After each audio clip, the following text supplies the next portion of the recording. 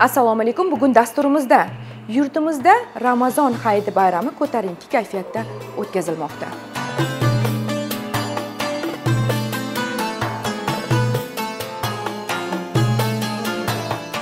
Ijtimoiy tarmoqlarda tarqalgan sohaga oid eng shov shuvli xabarlar. Boshqa qaytarilmaydi. Kechirim so'rayman. Siz yo'lovchi tashish faoliyati bilan shug'ullanasizmi? Man shug'ullanaman oxun budjetdan o'tib xursandchilikda chiquvdim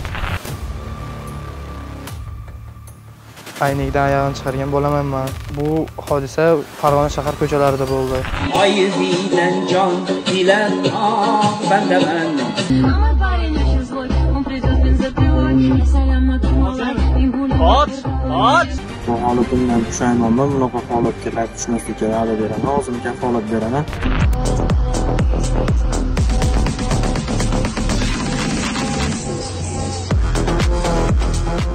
harakat xavfsizligini ishonchli ta'minlash maqsadida hududlarda o'tkazilayotgan tekshiruv tadbirlaridan lavhalar. Nexia bir avtomashinasi. Tumanni yorish chiroqlarini led lampa bilan jihozlaganimiz uchun shu va boshqa xabarlarning to'liq tafsiloti bilan hafta ichida ko'rsatuvning bugungi dasturida tanishtirib o'tamiz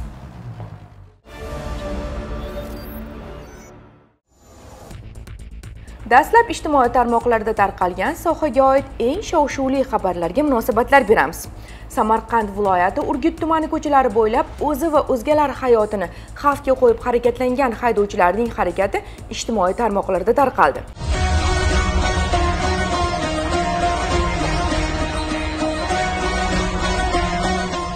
Haydovchilar open budjetda g'alaba qozonganligini nishonlash maqsadida ushbu xatti harakatlarni sodir etganliklarini ma'lum qilmoqda. So'nggi vaqtlarda ijtimoiy tarmoqlarda tarqalgan bunday qoidabuzarliklar asosan yosh haydovchilar tomonidan sodir etilayotgan bo'lsa navbatdagi qoidabuzarlar orasida yoshi yetmishni qoralagan haydovchilarning farzandu nabiralari qatorilarga o'rnak bo'lish o'rniga ularga bosh bo'lganini qanday izohlash mumkin? Ko'chaga opa budjetda yutdik dedi bolalar shunga. Bir chiqib boraylik dedikda xursandchilik qilamiz deb ozroq. Yosh bolalar tana qismlarini transport vositalarini oyna qismlaridan chiqarib olib hattoki o'sha qarama qarshi yo'nalishda boshqarish holatlari. Yuzaga kelganda ijtimoiy tarmoqlarda ko'rgan bo'lsangiz to'g'rimi biron bir yo'l transport hodisasi sodir bo'lganda nima bo'lardi o'sha payt? Men boshqa qaytarilmaydi bu narsa hay bir bo'ldi deb xursandchilik deb qiziqqonlik qildikda boshqa qaytarilmaydi lekin komandir. O'sha kuni open budjetdan yutganligimiz uchun xursandchilik qilib o'sha qarama qarshi yo'lga chiqqan ekanman. Uzr so'rayman. O'zimga yetarlicha ma'lumot olib bo'ldim. Boshqa qaytarilmaydi. Kechirim so'rayman. Oxun budjetdan o'tib xursandchilikda chiquvdim. Endi qaytarilmaydi. Boshqalarga ham aytaman undacha qilmasin siz yo'lovchi tashish faoliyati bilan shug'ullanasizmi? Man shug'ullanaman yo'lovchi tashish faoliyati bilan shug'ullansangiz nima uchun guruh guruh bo'lib transport vositalari ishtirokida Cobalt rusumli transport vositangizni bu holatda boshqardingiz men shu taksilik qilaman shu shahardan uyga qaytishimda shular orasiga qo'shilib qoldim. Men o'zim bosh tarafiga o'zi chiqib keldim o'zim uyga qaytayotgandim. Shu yerda ehtiyotdan bitta avariyankani yoqib o'tib ketdim endi nima deymiz shular qo'shilib qolganimiz faqatgina shu aybimiz shu. Urgut tumani ichki ko'chalari bo'ylab ushbu transport vositasi haydovchilari o'zi va o'zgalar hayotiga xavf tug'dirgan holda yo'l harakati qoidalarini qo'pol ravishda buzib harakatlanganligi hattoki transport vositasi ichida bo'lgan yo'lovchilar tana qismlarini oyna qismlaridan chiqarib olgan holda harakatlanganligi holati ijtimoiy tarmoqlarga tarqalib ketgan. Mazkur holat yuzasidan urgut tumani ichki ishlar bo'limi yo'l harakati xavfsizligi bo'limi xodimlari tomonidan olib borilgan surishtiruv ishlari natijasida ushbu qoidabuzarliklarni sodir etgan haydovchilar topilib ushbu haydovchilarga nisbatan sodir etgan qoidabuzarliklari yuzasidan ma'muriy tartibda bayonnomalar rasmiylashtirilib tuman yo'l harakati xavfsizligi bo'limi boshlig'i tomonidan ushbu haydovchilar bilan tushuntirish ishlari olib borilmoqda. Hurmatli harakat ishtirokchilari tashabbusli budjetda ishtirok etib yutgan hamyurtlarimizni xursandchiligiga sherikmiz albatta. Lekin ushbu xursandchilik ortidan qoidalarni buzish buni ortidan esa boshqa noxush hodisalarni kelib chiqishi mumkinligini unutmasligingizni so'raymiz. Kuni kecha ijtimoiy tarmoqlarda farg'ona viloyatida nexia 3 va vaz yigirma bir nol bir rusumli transport vositalarida haydovchi va avtomobil saloniga sig'magan yo'lovchining qoidabuzarligi tarqalib turli muhokamalarga sabab bo'ldi. Farg'ona viloyati yo'l harakati xavfsizligi boshqarmasi xodimlari tomonidan aniqlanishicha transport vositalari boshqa boshqa bo'lsa-da, har ikkala avtomashinalari oynasidan oyog'ini tashqariga chiqarib ketgan qo'shtirnoq ichidagi madaniyatli yo'lovchi aslida bir shaxs ekanligi ma'lum bo'ldi. Mazkur holat yuzasidan haydovchilar va yo'lovchiga nisbatan tegishli chora ko'rildi. O'rtoqlarim ko'rmay qolibman oyog'ini aynidan chiqarishgan ekan bunaqa qonun borligini bilmagan ekanmiz. Nexus hamda jiguli avtomobilida aynakdan oyog'ini chiqargan bo'laman man bu hodisa farg'ona shahar ko'chalarida bo'ldi. Bu ishimdan afsusdaman O'z- o'zim tengdoshlarimga bunaqa qilishni maslahat bermayman. Haydovchilarga nisbatan belgilangan tartibda ma'muriy bayonnoma rasmiylashtirildi va kelgusida bunday holatlarga yo'l qo'ymasligi tushuntirish ishlari olib borildi. Ushbu shovvozlarning harakati esa hammasidan o'tib tushdi. O'z hayotini xavf ostiga qo'yib xavfli harakatlarni sodir etib ijtimoiy tarmoqlarda olqish olmoqchi bo'lish istagida video tasvirga olib tarqatgan yoshlar endi qilmishidan pushaymon o'rtoqlar bilan dam olgani borgandik mashinada ba'zi biri kallasini chiqargan ba'zi bir qattiq harakatlar qilgan edi shu. Keyin u videoga men olgan edim. Instagram sahifamizga qo'ygandik shu video tarqab ketib qolibdi. Bu kapotda ketishdan maqsad nexia legenda qilmoqchi edik bu darajaga yetib kelishini bilganimiz yo'q edi. Bu qilgan ishimizdan afsuslanamiz o'zimiz jonimizni ham o'ylamabmiz o'rtoqlarim bilan aynalgani chiquvdim. O'rtoqlarim yon oynalardan kallalarni chiqarib o'tirdi. Bittasi oldi kapotga o'tirdi. Bu holatda mashinamni boshqardim. Boshqa qaytarilmaydi bu holat. Ijtimoiy tarmoqqa tarqalgan video yuzasidan e, surishtiruv ishlari olib borildi. Hamda haydovchi va yo'lovchilarda shaxsiy aniqlik kiritildi moshina vaqtinchalik jarohatdan qo'yildi. Haydovchiga nisbatan belgilangan tartibda ma'muriy bayonnoma rasmiylashtirildi qoidabuzarlikni xush ko'ruvchi harakat ishtirokchilari ushbu holatlardan o'zingizga tegishli xulosa chiqarishingizni bu kabi holatlar og'ir oqibatli noxush hodisalarga sabab bo'lishini unutmasligingizni so'raymiz. Haftaning eng shovshuvli xabarlaridan yana biri ikki nafar yo'l patrul xizmati inspektorlarining to'xtash ishorasiga bo'ysunmasdan tezlikni belgilangan me'yorlardan oshirib xavfli holatlar sodir etib harakatlangan haydovchi aks etgan video bo'ldi.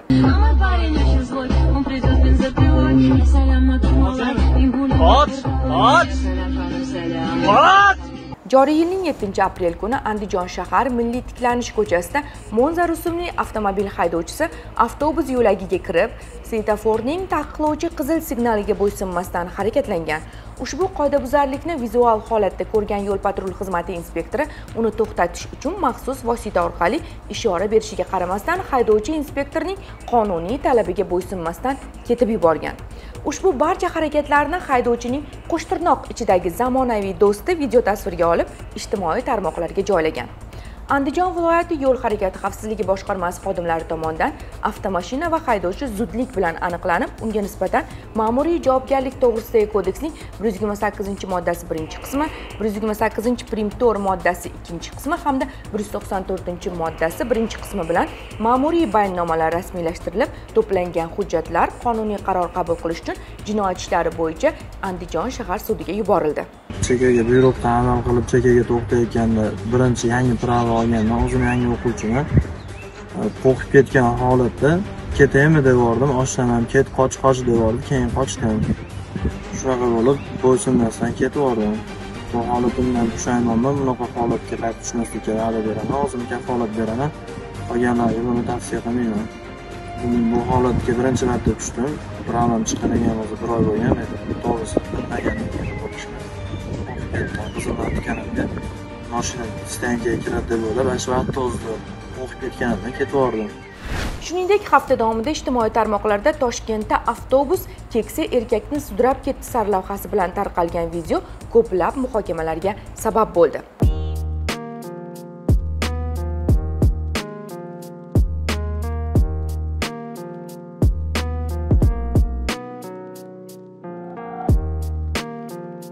Toshshahar transxizmat aksionerlik jamiyati axborot xizmatining ma'lum qilishicha ushbu avtobus haydovchisi aniqlanib tegishli chora ko'rildi. Avtobus bekatiga yetib kelganimdan so'ng e, eshiklarni ochib e, yo'lovchilarimni tushirganimdan so'ng harakatni davom ettirish e, vaqtida eshiklarimni yopdim. Yopib qolgan paytimda orqa eshigimdan to'satdan bir yoshi ulug' inson tushib qoldi. E, man uni sezmay qoldim bilmay qoldim. Harakatni davom ettirib keyin joyida to'xtatdim harakatimni to'xtatib e, oldilariga borganimda vaziyatni uzrimni so'rab vaziyatni tushuntirganimda bolam sen ketaver e, mani o'zimda ham xato bo'ldi deb hammasi yaxshi ketaver deganlaridan keyin man avtobusga yana e, o'tirib yana yo'nalishimni davom ettirib ketdim. Boshqa haydovchilar ham zerikligini oshirishini so'rab qolaman e'tiborli bo'lishini so'rab qolaman. Bu holat boshqa qaytarilmaydi. Hammadan uzr so'rayman. ikki ming yigirma to'rtinchi yil to'rtinchi aprel kuni e, ijtimoiy tarmoqlarga tarqalgan holat yuzasidan korxonamiz tasarrufidagi ikkinchi yo'nalishda e, olti yuz sakkiz saroy raqamli avtobusimizda noxush holat yuz bergan. Yo'lovchini sudrab ketish holati haydovchi qobulov shohruh tomonidan sodir bo'lgan bu holat. Qilgan aybi uchun haydovchi qobulov shohruh bilan mehnat shartnomasi bekor qilindi. Qolgan korxonadagi barcha haydovchilar bilan tushuntirishlar olib borilib e, shunday holatlarni oldini olish maqsadida yo'nalishga chiqish oldi. Har kuni e, tushuntirishlar olib boriladi. Yana shuningdek ijtimoiy tarmoqlarda fuqaro yo'l patrul xizmati inspektorlaridan berkinishga uringanligi aks etgan video tarqaldi.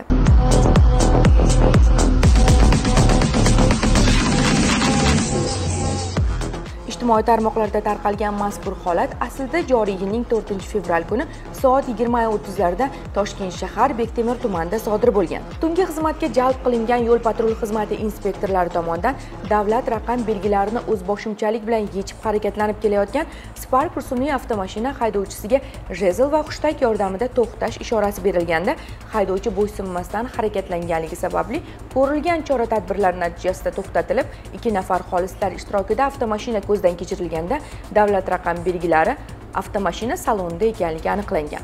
Holat yuzasidan 2005 yilda tug'ilgan haydovchiga nisbatan ma'muriy bayonnoma rasmiylashtirilib, avtomashina vaqtincha saqlash uchun jarima maydoniga joylashtirilgan. Xuddi shuningdek, aynan ushbu avtomashina haydovchisi joriy yilning 4-mart kuni Bektemir tumanida yo'l patrul xizmati inspektorlari tomonidan to'xtatilib, hujjatlarini tekshirish davomida haydovchining o'zini tutishi va gap so'zi xodimlarda shubha uyg'otgan va ikki nafar xolislar ishtirokida haydovchi va avtomashina ko'zdan kechirilganda avtomashina mashina salon qismidan o'tkir hidli oq rangli kukunsimon modda borligi aniqlangan. Mazkur holat yuzasidan tegishli hujjatlar rasmiylashtirilib, fuqaro hamda aniqlangan modda Bektemir tumani ichki ishlar organlari faoliyatini muvofiqlashtirish bo'limiga topshirilgan va hozirda surishtiruv harakatlari olib borilmoqda. Harakat xavfsizligini ishonchli ta'minlash maqsadida hududlarda tekshiruv tadbirlari davom etmoqda.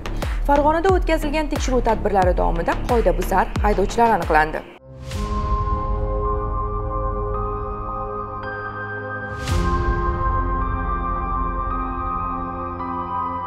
Ushbu Nexia 2 transport vositasini to'xtatib hujjatlarni tekshirganimizda haydovchi tegishli hujjatlar transporti boshqarib yurganligi aniqlandi.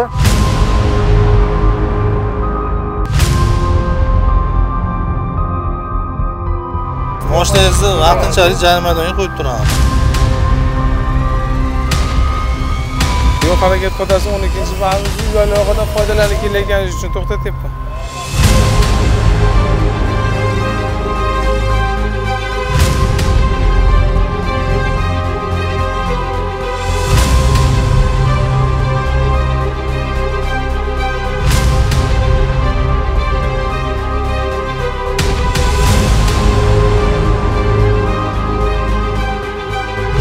qo'qon shahar reyd tadbir davomida ushbu transportni to'xtatib hujjatlarni tekshirganimizda tegishli hujjatlar transport boshqarib yurganligi aniqlandi va belgilangan tartib ma'muriy bayonnoma rasmiylashtirib vaqtinchalik saqlash uchun jarima tengorga joylashtirildi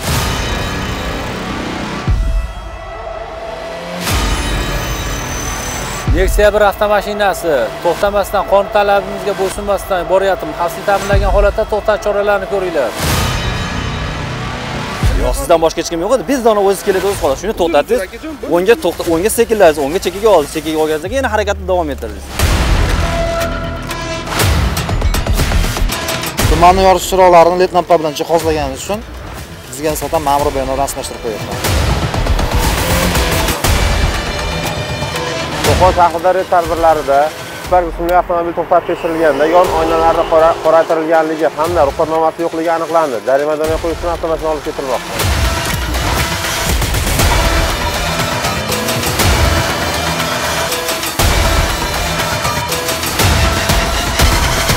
transport vositasi qidiruvdaligi uchun vaqtinchalik jarimadan qo'yib turamiz avtomashina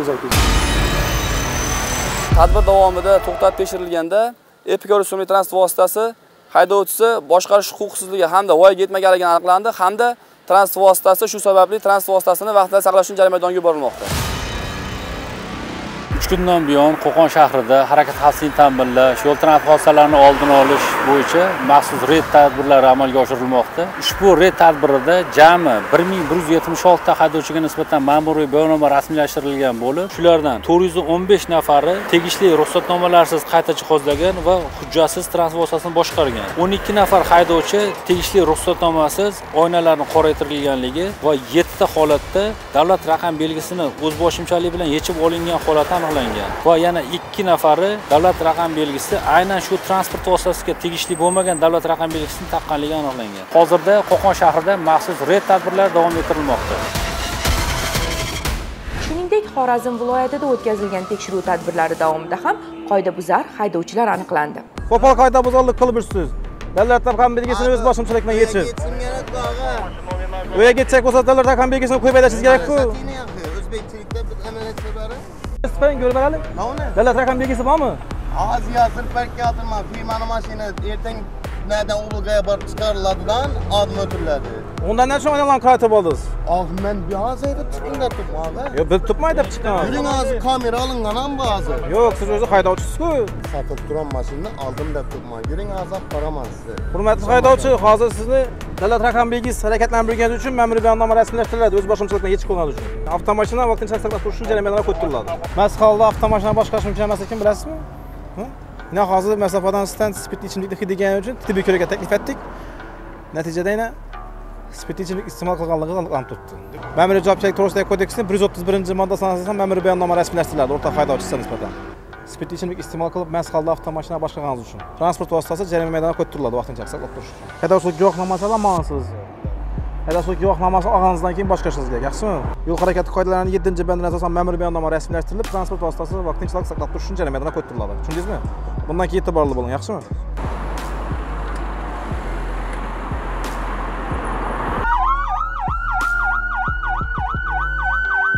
Yana boshqaruvimizda bo'lgan Gentra avtomashinasi to'xtatib tekshirilganda mayoqcha o'rnatgansiz va e, ovoz chiqaruvchi sirena qurilmalarini o'rnatgansiz. Qurilmalarni nima sababga o'rnatdingiz o'zi? Shu Instagram uchun. Instagram uchun? Nechun Instagram uchun? Instagram nechida u? Video uchun. Hozir belgilangan tartibda qayta jihozlab mayoqchalar o'rnatganligingiz, ovoz chiqaruvchi maxsus sirenalarni o'rnatganingiz uchun belgilangan tartibda ma'muriy bayonnoma rasmiylashtiriladi. Avtomashina vaqtinchalik saqlab turish uchun jarimadan qo'yib turiladi. Tushundingizmi? Bundan keyin e'tiborli bo'ling, yo'l harakati qoidalarini qat'iy rioya qiling.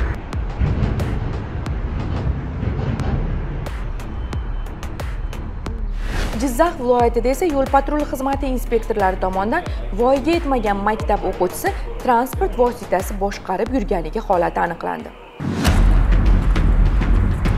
Jizzax shahar hududida harakatlanib kelayotgan Nexia rusumli 25 yuz 401 SA davlat raqami bo'lgan avtotransport vositasi shubha uyg'otgan vaqtida to'xtatib tekshirganimizda voyaga yetmagan bola 7 sinf bolasi 13 yoshar bola boshqarib kelayotgani aniqlandi. Ota enasi chaqirilib shunga nisbatan ma'muriy bayonnoma rasmiylashtirib vaqtincha jarima maydonchasiga qo'yildi. Mana hozir inspektorlar sani harakat davomida aniqlagan endi transport vositasini boshqarib ketayotgan bo'lgansan yoshing nechida o'n uchda o'n uch yoshda. Qaysi maktabda tahsil olasan yigirma yettinchi yigirma yettinchi maktabda nechinchi sinf o'quvchisisan? Yettinchi sinf. Yettinchi sinf. Qachondan beri transport vositasi boshqarasan anchadan anchadan beri? Ha, hozir mana ko'chaga chiqishdan oldin uydagilaringga aytganmiding? Yo'q. Aytmading ya'ni dadangdan so'roqsiz chiqib ketgansan to'g'rimi?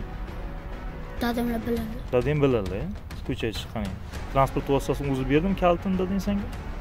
O'zimni o'zing bilding yo shu ko'chaga chiqib transport vositasini boshqarib chiqayotganingni aytdingmi dadanglarga?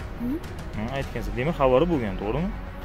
Qachon o'rgangansan transport vositasini boshqarishni ancha bo'ladi ancha bo'lyapti bundan oldin ham mana sani biz aniqlashimizdan ham oldin ham shu boshqarib turarmiding ko'cha haydab chiqarmiding ha demak bundan bundan oldin ham muqaddam haydab yurgansan endi qara. Keskin vaziyat deganda nimani tushunasan? Mana xavfli vaziyat deganda nimani tushunasan? Xavfli vaziyat? Ha? Haydovchilik guvohnomasini necha yoshdan olishni bilasanmi necha yoshdan o'n olinadi sakkiz o'n sakkiz yoshdan olinadi demak buni bilasan. Transport vositasini pravasiz ya'ni haydovchilik guvohnomasiz boshqarish mumkin emasligini ham bilasanmi? Bilasan buni. Hammasini yaxshi tushunib yuribsan. Nimaga boshqarding bo'lmasam o'zing bilmadingmi? E man qonun qoidalarni buzyapmanku. Demadingmi sanga o'xshagan yosh bolalar hali transport vosita boshqarayotganda hali voqea hodisalarni analiz qilib tahlil qilolmaydi.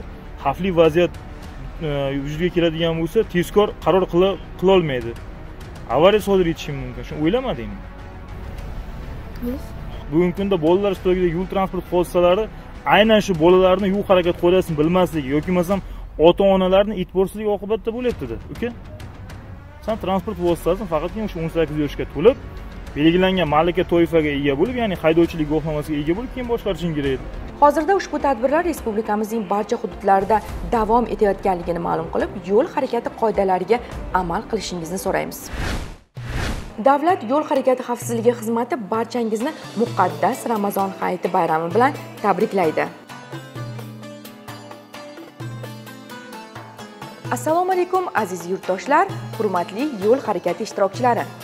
Sizlarni tinchlik shukronalik mehr oqibat va saxovat ramzi bo'lgan muborak ramazon hayiti bayrami bilan muborakbod etamiz. Hayit bayrami munosabati bilan yurtimizda e'lon qilingan dam olish kunlarida yo'llarda betalofat yurishingiz uchun yo'l harakati qoidalari va harakatlanish madaniyatiga amal qilishingizni bayram kunlari ma'lum bir ko'chalarda harakat cheklanganligini to'g'ri baholashingizni tirbandliklar vujudga kelishi va ibodatga keluvchilarga noqulayliklar keltirib chiqarmaslik maqsadida masjidlarga imkon qadar piyoda kelishingizni tog'li hududlarda va uzoq masofada harakatlanganda ehtiyotkor bo'lishingizni so'raymiz. Shu bilan birga yo'llarda sodir bo'lishi mumkin bo'lgan noxush hodisalarni oldini olishga chaqiramiz. Bayram davomida yo'l patrul xizmati xodimlarining yo'llarda xavfsizlikni ta'minlashdagi talablarga qat'iy amal qiling. Milliy qadriyatlarimiz ko'p ming yillik an'analarimizni hurmat qilgan holda yo'llarda xushmuomala bo'laylik. Bir birimizni avaylaylik. Muqaddas ramazon hayiti barchangizga muborak bo'lsin.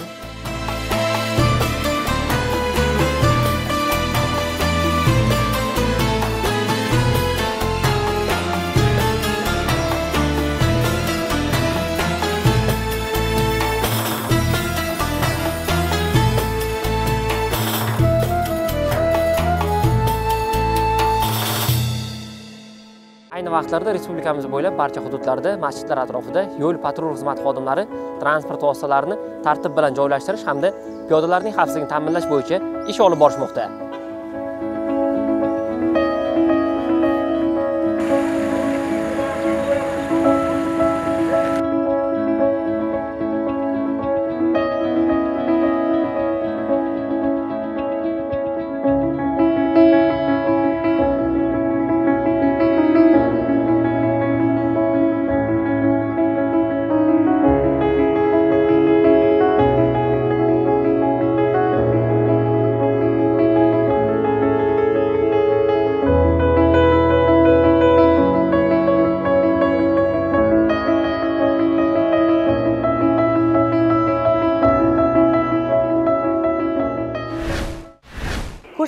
Yakunlar ekanmiz. Harakat ishtirokchilariga bir nechta tavsiyalar berib o'tamiz.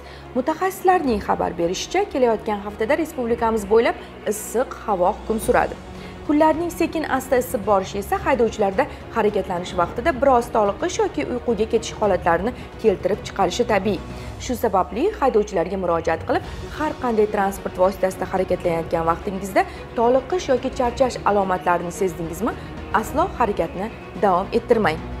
Yo'l chetida to'xtab biroz dam oling shundan keyin harakatni davom ettiring.